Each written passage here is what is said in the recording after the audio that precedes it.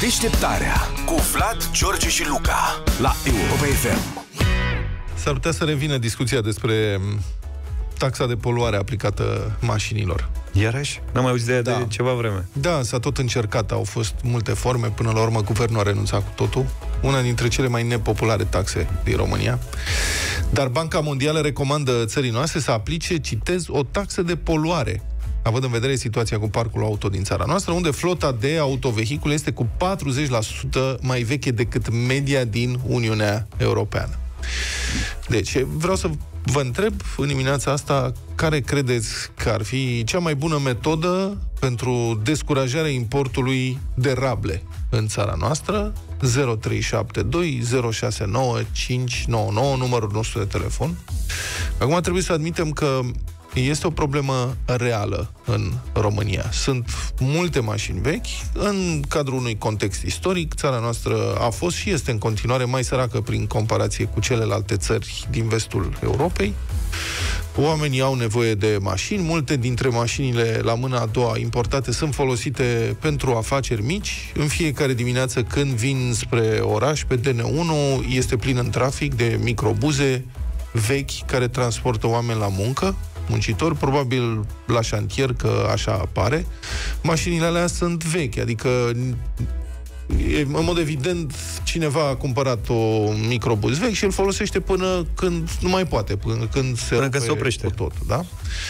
Doi, e și o chestie de confort personal. După Revoluție, mulți oameni și-au dorit o mașină care îți oferă o anumită independență, poți să pleci cu ea, să-ți faci treburile, nu? Înainte de Revoluție, știm cum era. Trebuia să aștepți 5-6 ani ca să cumperi o Dacie, dacă reușeai, cu banii puși înainte și atunci e o chestiune care uh, ține de confortul familiei și de un anumit sentiment că ai realizat ceva în viață. Ai mașina ta, oricât de veche ar fi, bă, ai mașina ta. Dar asta nu înseamnă că problema nu este reală. Enorm de multe din aceste mașini vechi poluează foarte, foarte mult, din păcate, iar asta ne afectează pe toți. Un aer mai poluat, un mediu mai poluat, înseamnă până la urmă, o societate mai bolnavă. Adică cheltuieli mai mari uh, cu sănătatea, suferință mai multă, ne afectează pe toți. Ar fi grozav ca, într-un fel, să putem reduce numărul de mașini poluante și să descurajăm importul. Um, de aici plecăm.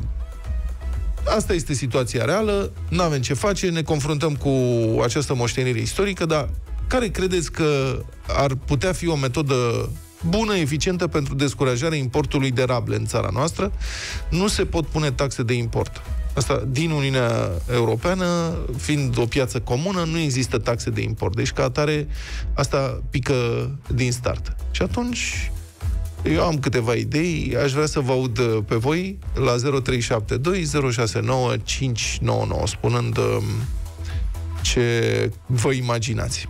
Vă dau și niște date dacă vreți. Țara noastră este în urmă la capitolele privind reducerea poluării. Sistemul de transport din România se bazează din ce în ce mai mult pe mașini private și pe camioane, în timp ce utilizarea transportului feroviar a scăzut constant. Se Și menționează în acest infrastructura e destul de dificilă. raport al Băncii Mondiale, da, este Adică trenurile și viteza medie de deplasare și toată infrastructura e practic cea pe care am moștenit-o de acum Din- 30 de ani. Din păcate avem de-a face cu un stat care a rămas mult, mult în urma societății. Societatea a evoluat, statul român, guvernele, politicienii noștri sunt în continuare înapoiați, cred că e și mental, din ce în ce mai mult și mental sunt înapoiați. Din ce în ce mai tare, nu reușesc să depășească etapa asta de să dăm pomeni electorale, nu reușesc să se gândească la nimic ce presupune investiții în dezvoltarea României, toți banii care se strâng trebuie dați pe ceva mită electoral acum, ca să rămână ei la putere, pentru că dacă nu rămân la putere, m, pur și simplu cred că nu-și pot câștiga traiul. Adică dacă îi desprinzi de accesul la banul public, nu mai știu cum să trăiască. Ei n-au trăit în economia reală, habar n-au cum se face. Um, zi, Luca. E foarte mare interes pentru subiectul ăsta. Au venit deja Imaginez. primele uh, soluții. Uite, cineva zice că cea mai bună metodă ar fi majorarea salariilor. Pentru că suntem ultimii în Europa și nu putem ține pasul cu ei la mașini. Așa cum se impune uh, ridicarea standardelor uh, auto, de ce nu se impune și ridicarea salariilor? Aici zice cineva. aș vrea să spun că ridicarea sal- deci salariile nu pot fi crescute administrativ. Ele au e- legătură cu economia reală. Corect. Mărirea administrativă a salariilor și a pensiilor. Sigur că toți ne dorim să câștigăm mai bine, adică, na, dar mărirea administrativă, adică din pix, zice guvernul, să fie salarii mai mari, înseamnă mai mulți bani pe piață, deci înseamnă inflație. Dacă uh, salariile n- trebuie să aibă legătură cu economia reală, cu productivitatea reală. Din păcate, România este încă o țară în care productivitatea este mai scăzută ca în Occident, adică pe numărul de ore lucrate în medie de un român, valoarea producției este mai mică decât în Germania, în Franța, în Italia și așa mai departe, în Spania. Asta este un fapt real, nu poți să forțezi economia. Uh, cum se depășește acest impas? Prin investiții. Adică statul român trebuie să folosească banii ca să investească inclusiv în infrastructură. O infrastructură de transport mai bună permite uh, creșterea unei creșterea mai sănătoasă a Corect. economiei. Dacă nu se fac investiții, atunci rămânem să băltim într-o zonă de sărăcie de zeci de ani, iar guvernul nu știe decât să dea bani pomană și să mărească salariile din PIX. Mărirea salariilor din PIX, cum am spus, nu Uite. face decât să creeze pe de o parte, șomaj, pentru că sunt firme care nu-și mai pot permite să plătească aceste salarii minime care sunt crescute în permanență, evaziune fiscală, fugă în economia neagră, pentru că sunt firme care, ca să rămână pe piață, o să înceapă să plătească la negru oamenii ca să nu mai plătească taxele către stat, sau inflație, pentru că, practic, sunt mai mulți bani pe piață, dar care nu corespund unei creșteri uh, Reale. și a uh, productivității. Dar uite, să revenim la subiect, Cristian zice că ar fi corect să fie o taxă în funcție de testele rar. Indiferent dacă mașina e veche sau nu, o faci nou, se plătești. Și apropo de asta, eu cred că ar fi important să se dea o lege prin care cei care fac testele rar să răspundă penal. În cazul în care dau rarul la mișto, ceea ce în continuare se întâmplă, chiar dacă s-au mai înăsprit controlele, Înțeleg că sunt încă servisuri multe care după ora 4, când nu mai vine, nu ți-o mai blochează Te rarul. refer la ITP. la ITP mă refer, La da. ITP, da. Înțeleg că încă trec hârburile și mai vezi câteodată în trafic. Adică ar trebui când trece unul pe lângă tine de la care scoate fum negru, să-l oprească poliția și prima oară să-l aresteze pe la care i-a dat ITP-ul. Interesantă idee. ce spun? Ai fibră de dictator. 0372069599 Ce metode credeți? Bun, taxarea e una dintre ele, n-a funcționat, evident că nu e populară, dar ce alte metode vă imaginați că ar putea fi aplicate în România ca să încercăm să reducem importul de uh, rable poluante? Da? 0372 069 599 Mă gândeam la câte bă, firme de stat au echipam, nici nu știu cum să le zic, mașini vechi.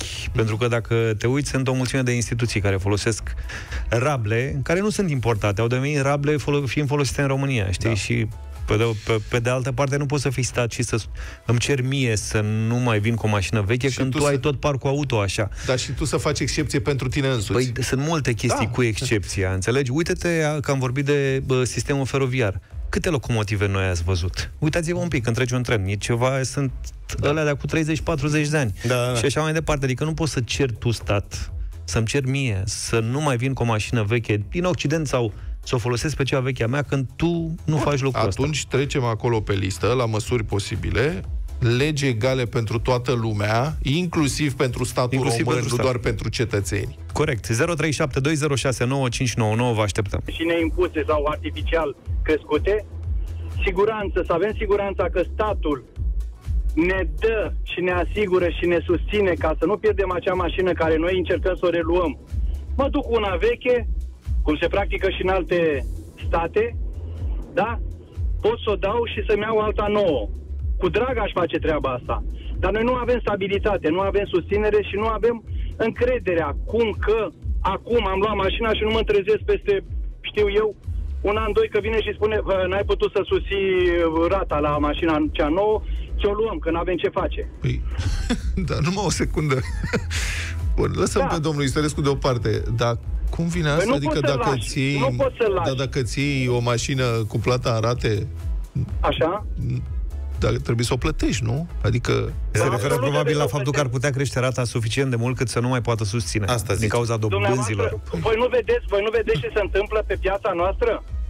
păi, ratele Dacă eu plec bancă- un împrumut acum și mi-au o casă, Da. că am trecut de la mașină la casă și plec o dobândă pe o anumită monedă europeană sau uh, a noastră internă, anul viitor nu mai este aceeași dată. Păi dobânda, aceea prefer mai dobânda, bine- păi dobânda fluctuează în funcție de condițiile economice. Nu e logic așa? Afară, af, nu e logică, afară nu se întâmplă așa ceva. E, nu se De întâmplă aceea, așa. Cum E să mai nu se stabilă întâmplă? piața, Și de e că e mai stabilă. E Hai să stabilă fim că oameni poate sunt serioși. economiile Hai mai să fim stabile. oameni Asta serioși.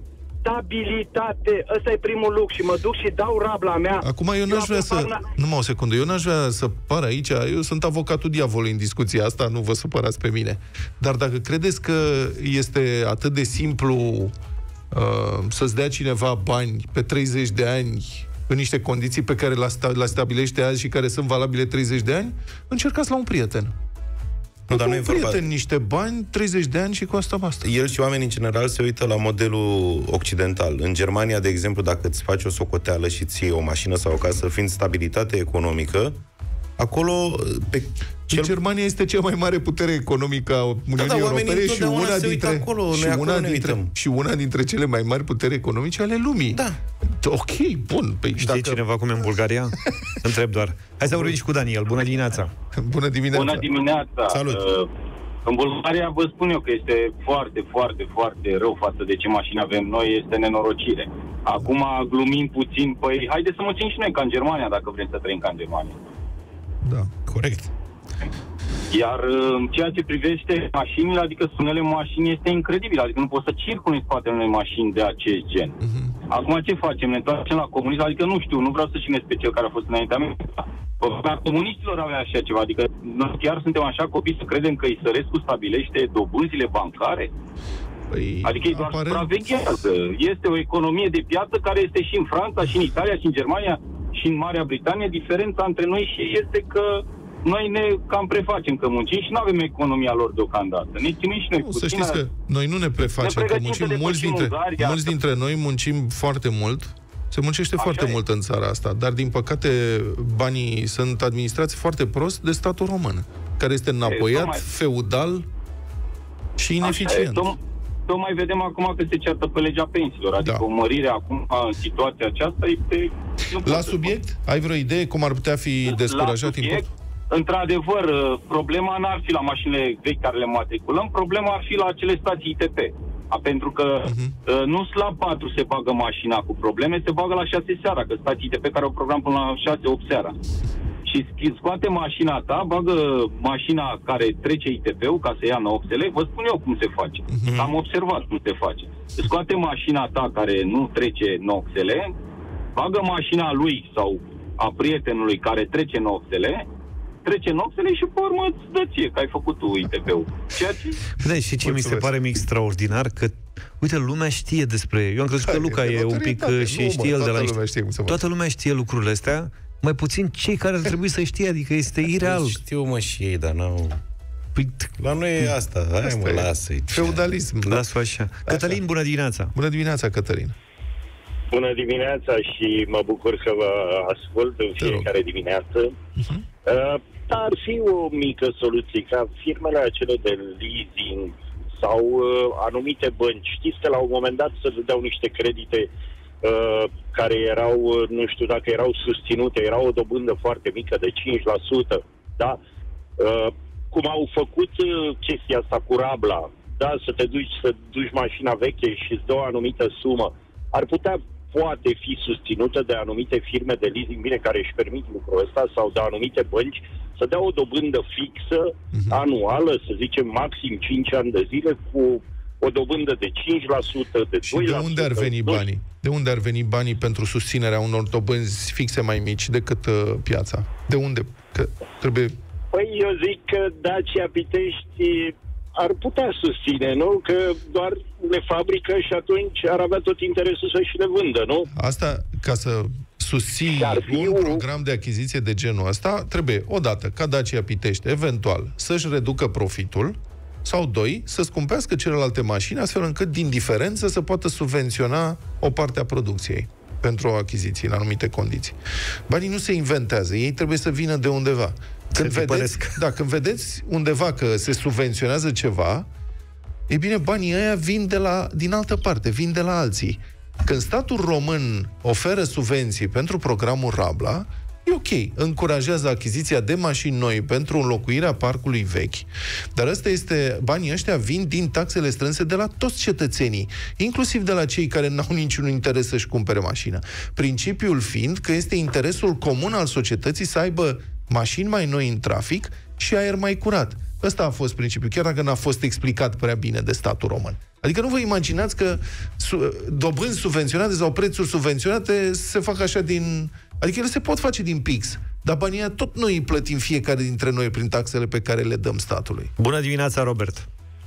Neața. Bună dimineața, bună dimineața! Salut! Uh, deci ar trebui, părerea mea, un pic mai uh, mult control pe mașinile care sunt folosite de persoane fizice, pe persoană fizică, de fapt, pentru firme. Ai spus asta la începutul emisiunii că sunt multe microbuse pe drum care vin cu muncitori. Uh-huh. Toate, munci, toate microbusele alea ar trebui luate la mână, în felul ăla am vedea și munca la negru, ce caută șapte bărbați într-un microbus, mașina aia pe numele cu e, ce caută acolo, cine e șoferul.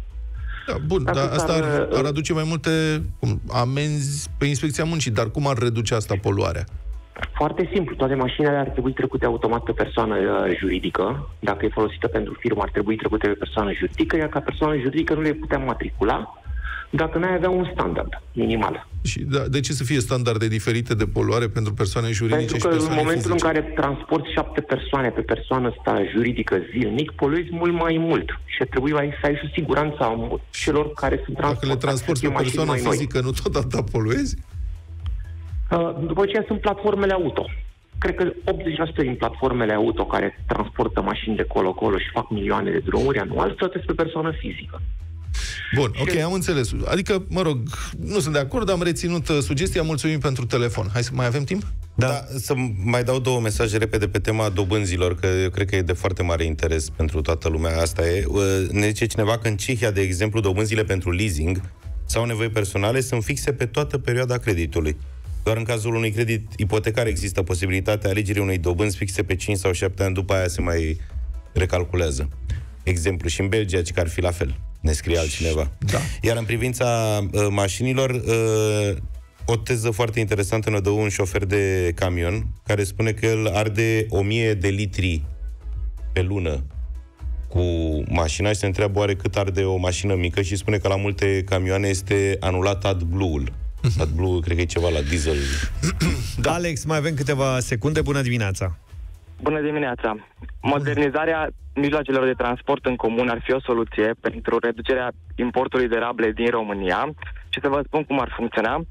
Practic, în momentul în care tu modernizezi autobuzele, ca de exemplu din orașe, oamenii care oricum n-au așa de mulți bani și care își pun problema să-și cumpere o rablă, s-ar gândi de două ori, pentru că știu că au o alternativă mai ieftină și destul de faină. De acord cu dezvoltarea transportului în comun, uh, n-ai cum să te opui acestei uh, idei, acestei evoluții. Acum, uh, eu cred că soluția ar fi o taxare diferențiată în funcție de poluarea efectivă a mașinii respective, care ar trebui verificată serios uh, la perioade fixe, o dată pe an, iar uh, aici sunt de acord cu ideea lui Luca, să fie pedepse mult mai aspre pentru cei care falsifică aceste certificate de poluare. Deci poluezi mai mult, cu mașina ta nu contează marca, nu contează anul, vechimea, pentru asta să plătești mai mult.